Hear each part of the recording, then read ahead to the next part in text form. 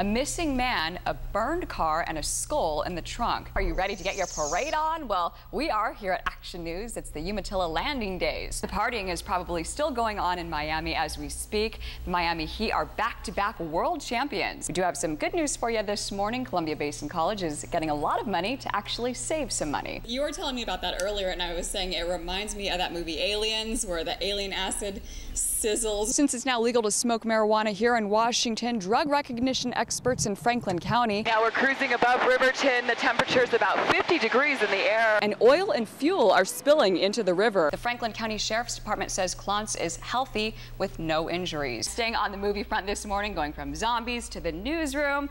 At this hour in the morning, I often feel like a zombie myself, but the long anticipated Anchorman 2 is coming out. Lawnmower guru himself, Jay Frank, is at the Weather Center.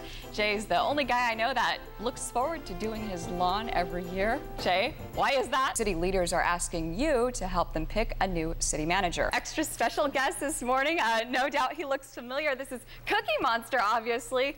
How's it going, Cookie? Turns out our own state is the least foul-mouthed in the entire U.S., so we had to talk to you about it and find out what you think. The price at the pump continues to go down across the country, and it's the same kind of trend here locally as well. Welcome back to Action News. This morning, I am live here in our Pasco studios with Carolyn Friday. She is with the Relay for Life. Most of us can think of a million things we'd rather do than mow the lawn. Speaking for myself right now because Jay enjoys it very much. Yeah, I enjoy it, but uh, you couldn't do it if somebody paid you, Lindsey, huh? I don't think I don't think you could pay me enough money to do that. I don't even know where to start, so it would be a disaster waiting to happen. The only time I actually did attempt to mow a lawn, Yeah. Jay, um, my dad had a tractor. What are those?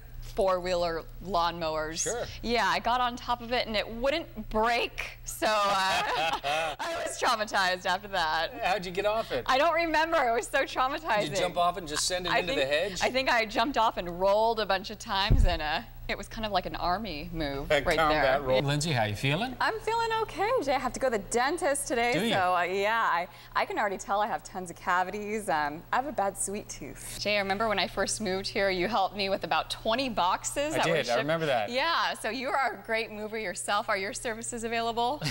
Not for hire. Not for hire. I wanted to tell you about my own dog and how he keeps cool during the summer, but he doesn't live here, so I didn't think Jay would let me